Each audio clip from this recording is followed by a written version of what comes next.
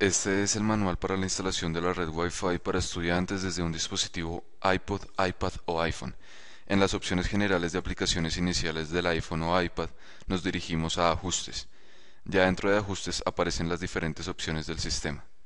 Buscamos en el panel de la izquierda la opción Wi-Fi. Habilitar la Wi-Fi por medio del icono del panel derecho.